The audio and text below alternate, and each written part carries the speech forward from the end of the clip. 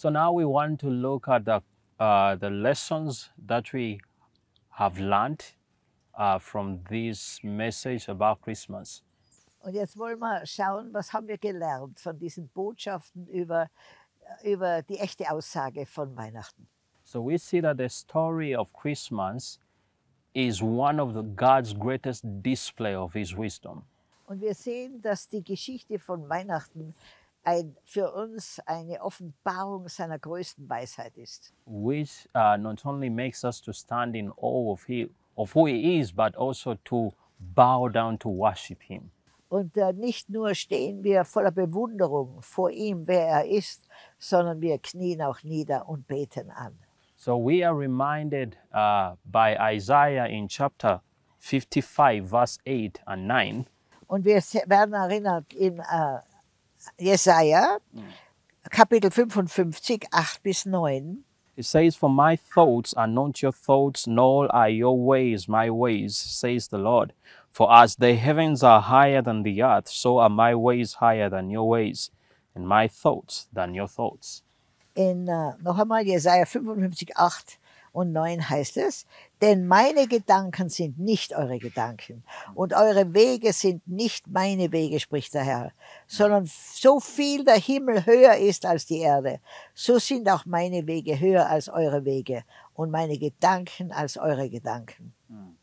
So we see that in the story of Christmas, God's ways and His wisdom is put on display that no human could ever come up with such a plan. So sehen wir, dass eigentlich zu Weihnachten Gottes Weisheit und Gottes Plan uns vor Augen geführt wird, dass sich hätte keiner ausdenken können. Just imagine if God gave us humans an opportunity to plan the first advent of His Son, how different things would be. Wenn man sich nur vorstellen würde, wie wir Menschen das erste Kommen Jesu planen würden. Kann How, sich keiner vorstellen. who would have ever thought about uh, the shepherds?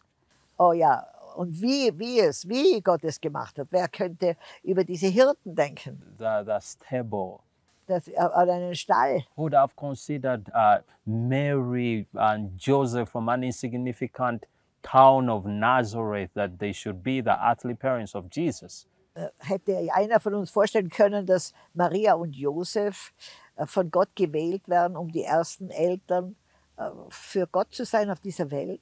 And we, we see this in the story of the gospel that Jesus' purpose of coming uh, on earth was the cross. The cross was the hour for which he came. Und eigentlich sehen wir schon zu Weihnachten, dass der wahre Grund des Kommens Jesu das Kreuz war. Denn er kam mit dem vollen Bewusstsein, dass das Kreuz vor ihm war. And we have an example in the Gospel of Matthew, chapter 16, of the Apostle Peter. Und äh, im Matthäus äh, 16 haben wir ein Beispiel von, äh, von dem, unserem wunderbaren Petrus. Seit der Zeit fing Jesus an, seinen Jüngern zu zeigen, wie er nach Jerusalem gehen und viel leiden müsse von den Ältesten und hohen Priestern und Schriftgelehrten und getötet werden und am dritten Tage auferstehen. Und Petrus nahm ihn beiseite und fuhr, fuhr ihn an und sprach, Gott bewahre dich, Herr, das widerfahre dir nur nicht. Er aber wandte sich um und sprach zu Petrus, Geh weg von mir, Satan, du bist mir ein Ärgernis, denn du meinst nicht, was göttlich, sondern was menschlich ist. So we see here is a, a very, very important and interesting story recorded in the gospel. So, das ist eine sehr interessante Ge äh, Er- Erklärung in, im, im Wort Gottes. This happens after Jesus had uh, given the name Peter to Simon. Und äh, das geschah, nachdem Jesus dem Simon, der war ursprünglich Simon, den Namen Petrus gegeben hat. Uh, after Peter had made the right confession about who Jesus Christ is. Und da hat äh, der Petrus die richtige, als richtige Bekenntnis gemacht, wer Jesus Christus wirklich ist. So we see that Christ, after declaring that he himself is going to build his church, Und äh, nachdem Jesus Christus erklärt hat, dass er die, die, das Grundstein der Kirche legen wird, going to build this church on the rock. We believe the rock is the confession of who Jesus is. Jesus is the very rock on which he builds this church. Und wir glauben, dass äh, Jesus nicht auf die Person Petrus die Kirche gebaut hat, sondern auf seine Aussage, dass er der Erlöser ist. So we see after this, then Jesus begins to tell his disciples that he was to go to Jerusalem to be rejected by Israel and handed over by the leaders to the Romans to be crucified. Dann sagt Jesus hier, dass er eben äh, nach Jerusalem gehen wird, viel leiden wird von den ältesten Hohenpriestern und Schriftgelehrten und eben äh, durch die Römer dann auch ans Kreuz genagelt wird. So, in other words, we see Jesus is telling them the purpose of Christmas that it is Calvary, it's the cross. Und wir sehen hier, dass Jesus den Menschen sagt, dass seine Zukunft, also sein Ziel, auf die Welt zu kommen, das Kreuz ist. So, but also we see Peter standing in the way of Jesus and rebuking him and telling him, This shall never happen to you. Aber wir sehen auch, wie Petrus dann sagt, äh, das soll Gott bewahre dich, Herr, das widerfahre dir nur nicht. Also er, er, er, er stellt sich gegen diese Aussage Jesu. Uh, Peter is a very amazing character. Und der Petrus ist ein sehr äh, ja, äh, überraschender, ein überraschender Charakter. A few moments ago, uh, he was inspired by God the Father to make the right confession. Und kurze Zeit davor wurde er in- inspiriert durch den Heiligen Geist, die, das richtige Bekenntnis zu geben. But right now, he's being used of Satan to make to do something totally wrong. Und jetzt wird er von Satan verwendet, um etwas ganz Falsches zu machen. And you see, Jesus here tells him something very, very important we need to understand. Und hier sagt Jesus dem Pe- Petrus etwas sehr Interessantes, was wir, äh, was wir notieren müssen. Here, Jesus tells Satan, who was using Peter, that he is mindful about the things of men. Und hier sagt er äh, dem Petrus, aber der wird verwendet von Satan, dass er sich eben, äh, äh, dass er sich nicht um das Göttliche kümmert, sondern um das Menschliche. but not the things of God. Dass er nicht interessiert ist an den Dingen Gottes. So that tells you that the story of Christmas, the story of redemption, is not originated from men. Und wir wissen, dass diese Geschichte von Weihnachten nicht ihr, ihren Ursprung in den Menschen hat. No one would have invented a story or uh, invented a plan of salvation which involves the death of Jesus. Und keiner von uns hätte einen Plan ausgedacht, wo Jesus Christus sterben muss für uns. This is the plan of God. Das ist ein Plan Gottes. So that reminds us uh, that the things of God are not the things of men. Und da erkennen wir, dass die Wege Gottes nicht die Wege der Menschen sind. In fact, Jesus tells us that in his kingdom, the way up is the way down. Und äh, wenn uns Gott sagt, in seinem Königreich ist der Weg nach oben, der Weg nach unten. If you want to be the greatest in his kingdom, you will be the least. You should be a servant. Und wenn du der Größte im Reich Gottes sein willst, dann musst du ein Diener werden. It's not about honors and titles. Geht nicht um Ehre und um Titel. In fact, the Lord tells us that if you're not converted and you become like a little child, you will never enter his kingdom. Im Gegenteil, das Wort Gottes sagt, wenn wir nicht umkehren und werden wie die Kinder, werden wir nie ins Reich Gottes kommen. It's about humility. Es geht um Demut. So, there we see that God chooses the most humble means for the first coming of his son. Und da sehen wir, wie Gott eigentlich etwas ganz, eine ganz niedrige menschliche äh, äh, Erfahrung äh, schickt oder, oder, oder anbietet äh, für das Kommen Jesu.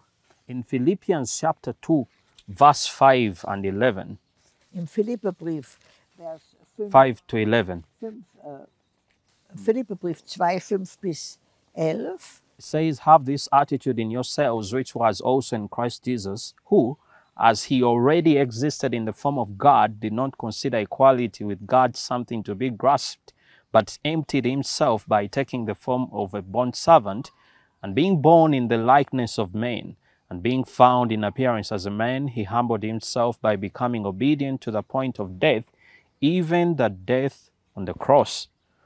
For this reason also God highly exalted him and bestowed on him the name which is above every name, so that at the name of Jesus every knee will bow, of those who are in heaven and on earth and under the earth, and that every tongue will confess that Jesus Christ is Lord to the glory of God the Father. Das ist jetzt in Philippa 2, 5 bis 11. Seid so unter euch gesinnt, wie es auch der Gemeinschaft in Christus Jesus entspricht. Er, der in göttlicher Gestalt war, hielt es nicht für einen Raub, Gott gleich zu sein, sondern entäußerte sich selbst und nahm Knechtsgesellschaft, Knechtsgestalt an, ward den Menschen gleich und der Erscheinung nach als Mensch erkannt. Er erniedrigte sich selbst und ward gehorsam bis zum Tode, ja zum Tode am Kreuz. Darum hat ihn auch Gott erhöht und hat ihm den Namen gegeben, der über alle Namen ist, dass er, dass in dem Namen Jesus sich beugen sollen aller derer Knie, die im Himmel, die auf Erden und unter der Erde sind, und alle Zungen bekennen sollen, dass Jesus Christus der Herr ist, zur Ehre Gottes des Vaters. Amen. Amen. Uh, this is, uh, for me personally, the best scripture in the Bible. Und für mich persönlich sind jetzt diese Worte aus dem Philipperbrief die besten Worte in der Bibel. because here you find who Jesus Christ is in the nutshell. Und hier findest du, wer Jesus Christus im Natürlichen ist. And this is the story of Christmas. Und das ist die Weihnachtsgeschichte. Because Christmas is about Jesus. Denn Weihnachten ist äh, alles nur um Jesus herum. So here we see that Christ, before he left the glory of God, he was God and equal to God the Father. Und wir sehen, bevor Jesus den Himmel verlassen hat, er war dem Vater, dem himmlischen Vater gleichgestellt. But then he had to humble himself and come in the likeness of men. Ja. Und er entäußerte sich selbst und nahm Knechtsgestalt Gestalt an, ward den Menschen gleich und der Erscheinung nach als Mensch erkannt. He didn't hold on to his rights as being equal with God as something to grasp on. Er hat nicht diese Rechte in Anspruch genommen, auf Erden gleich zu sein wie sein Vater im Himmel. You know, sometimes we, we tend to think that the humiliation of Christ was only when he was arrested and then crucified, but it didn't begin from there. Ja, und wir glauben manchmal, dass seine Erniedrigung oder seine, ja, dass das, das erst begann, als er geschlagen wurde und gekreuzigt wurde. Aber es hat schon lange vorher begonnen. Actually, the humiliation of Christ began at Christmas. Äh, diese Entäußerung seiner göttlichen Natur hat schon zu Weihnachten begonnen. His whole story is a story of humiliation as God. Und äh, deine ganze Geschichte ist eine Geschichte der Demütigung als Gott. And the question is why? Und die Frage ist, warum? When we go back at the beginning, we see God created man perfect. Und wenn wir zurückgehen zum, zum Anfang der Geschichte der Menschheit, dann sehen wir, Gott hat den Menschen perfekt geschaffen. And man had a perfect relationship with God. Und, Gott, und der Mensch hatte eine wunderbare, direkte, klare Beziehung mit Gott. In fact, the scripture says that man would walk in the God would walk in the cool of the day with man. Und es sagt sogar im Wort Gottes, dass Gott äh, in der Kühle des Abends mit den Menschen gewandelt ist. But things turned. Aber die, die Sache hat sich gewendet. When man was tested, man fell. Als der Mensch getestet wurde, ist er gefallen. Man was tested whether he would choose uh, between God and himself, and he chose himself. Und der Mensch wurde getestet, ob er Gott mehr vertraut oder sich selbst. Und er hat sich selbst gewählt. Then, in the rebellion of man, sin entered the world, and then death spread to all men. Und in dieser Rebellion des Menschen, äh, sich von Gott zu lösen und Gott sein zu wollen ohne Gott, äh, hat die ganze Katastrophe der Menschheit begonnen. Because all sinned, for no one is good, not even one. Denn durch diese Erbsünde, diese Ursünde, ist jeder von uns mit Sünden Natur geboren. So we see that our sins as children of men separated us from God. Und wir sehen, dass unsere Sünde uns von Gott getrennt hat. And man cannot bring himself to God. Und der Mensch kann sich selbst nicht mehr wieder zurückbringen zu Gott. No amount of good works and religious rituals can bring you to God. Keine, keine Anzahl von guten Werken oder religiöse Hingabe kann dich wieder zu Gott zurückbringen. Man cannot save himself. Der Mensch kann sich selbst nicht retten. Religion doesn't save anyone. Religion hat noch nie jemanden gerettet. That's why we are not here preaching to you religion. Deshalb sitzen wir hier und predigen nicht zu dir oder für dich werde religiös. We are preaching you, Jesus Christ, and Him crucified, Wir predigen dir Jesus Christus und ihn gekreuzigt. who is the risen Savior. Äh, Und er ist der auferstandene Erlöser. You know, Satan is not an unreligious spirit. Und Satan ist gar nicht gegen Religion. Satan is very religious. Satan ist sehr religiös. That's why he has formed and developed so many various forms of religions just to blind people from the glory of Christ. Und deshalb hat er hunderte von Religionen gegründet auf der Welt, um die Menschen von der Herrlichkeit Gottes abzuhalten. to blind them from the gospel of their salvation. Um sie blind zu machen für die, für die frohe Botschaft der Erlösung. So we see the Bible says that when the fullness of time had come, God sent forth his son. Und wir, wir lesen in der Bibel, als die Fülle der Zeit kam, hat Gott seinen Sohn gesandt. born of the woman, Und er wurde geboren aus einer Frau born under the law, und geboren unter dem Gesetz, to redeem us all who are under the law. um uns alle zu erretten, die unter dem Gesetz geboren wurden. So you see, Christ had to come in our likeness. So Christus musste kommen in unserem Zustand. He is the second Adam.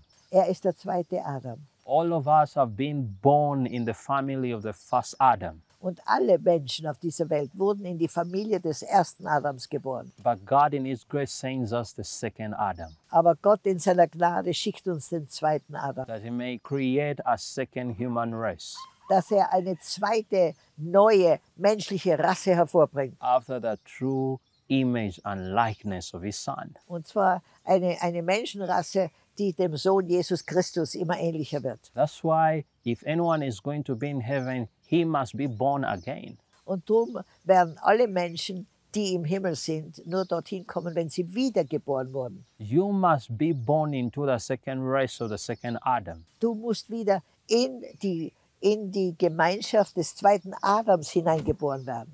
Paul says that the first Adam was the man of earth, the man of the dust. Und der erste Adam war der Mann der Erde, der Mann ja, Yeah, of the dust. äh, von, von, von Staub. But the second Adam is Christ, the Lord from heaven. Aber der zweite Adam ist Christus, der Mensch vom Himmel. So the story of Christmas is that Jesus Christ came to be the mediator between us and God. Und äh, die Weihnachtsgeschichte ist eigentlich, dass Jesus Christus der Vermittler, der Mittler zwischen Gott und den Menschen wurde. In fact, the scripture is very, very clear about this that there is one God and one mediator between God and man, the man Christ Jesus. Und es ist äh, ganz klar in der Bibel, dass es nur einen Mittler gibt zwischen Mensch und Gott. Und das ist Jesus Christus. He is God, but he's also man. Er ist hundertprozentig Gott und hundertprozentig Mensch. So we see Christ stands in our place before God. Und wir sehen, dass Christus vor Gott steht in unserem Namen. He could only be our substitute only if he became a man, and this is what Christmas tells us. Und er konnte nur diese Position einnehmen, indem er Mensch wird. Und das ist Weihnachten für uns. He came to take our place. Er ist gekommen, um unseren Platz einzunehmen. He came to die our death, Er kam, um den Tod zu sterben, den wir verdienen. that by the grace of God, Aber durch die Gnade Gottes, through faith in his finished work, durch Gnade und durch Glauben in sein, äh, sein erledigte Arbeit, eine, seine, ja, ein vollkommenes Erlösungswerk, we may live his life.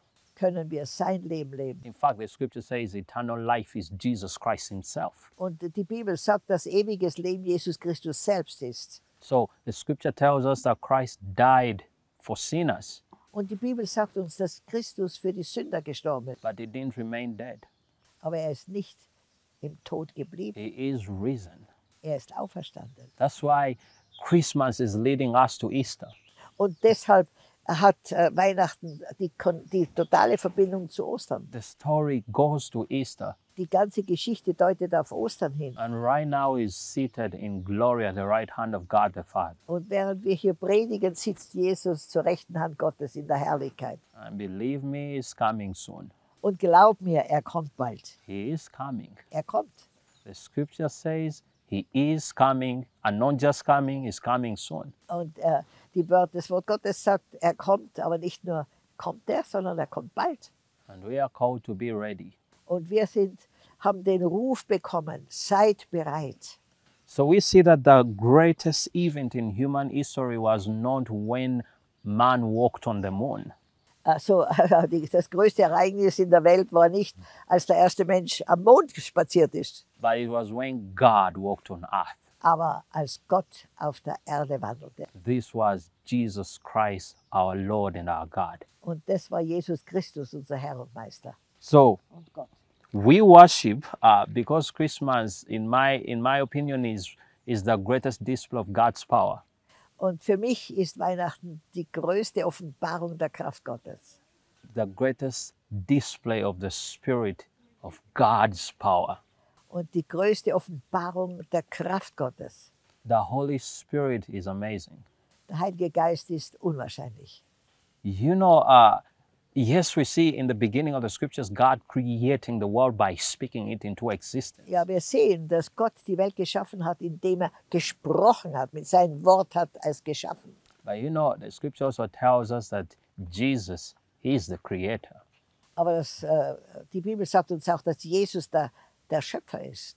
So, why do I believe that uh, the incarnation of Jesus Christ, the story of Christmas, is God, God's greatest display of power?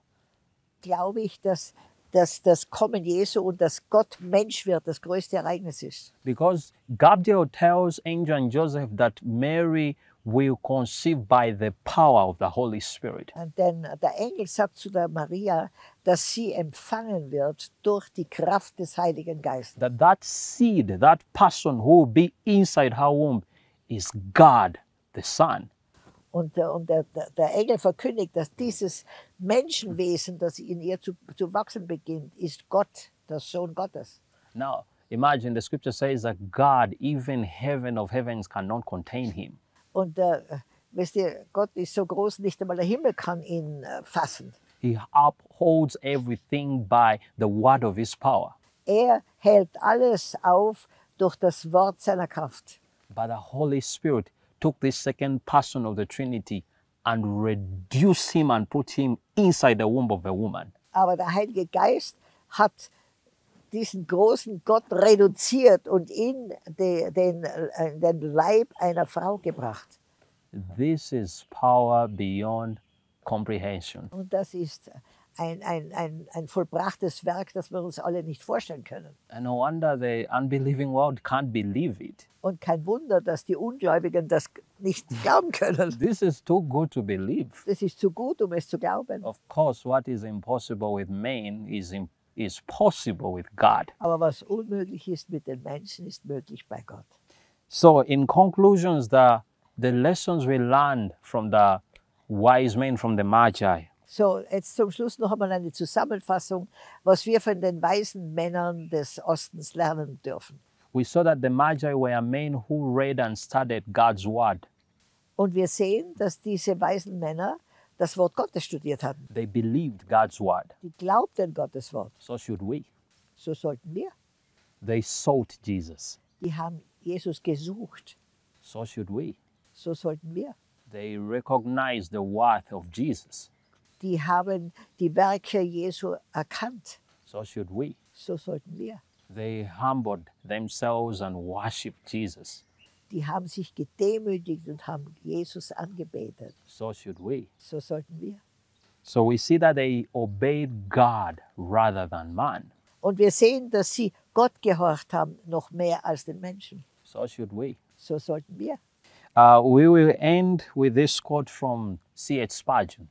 Wir wollen jetzt noch ein Wort von C.S. Spurgeon äh, hören. He says, Those who look for Jesus will see him. Und er sagt, die, die Jesus suchen, die werden ihn sehen. Those who truly see him will worship him. Und die, die ihn finden, werden ihn anbeten. Those who worship him will consecrate their substance to him. Und die, die ihn anbeten, werden ihre, die ganze Substanz ihres Lebens ihm äh, äh, widmen. Amen. Amen. So it's our prayer that our Christmas celebrations and everything we are going to do will center around Jesus Christ and his glory. Und wir vertrauen, dass alles, was wir zu Weihnachten tun, um Jesus Christus herum gebaut ist und auf ihn hin gewidmet ist. Amen. Amen.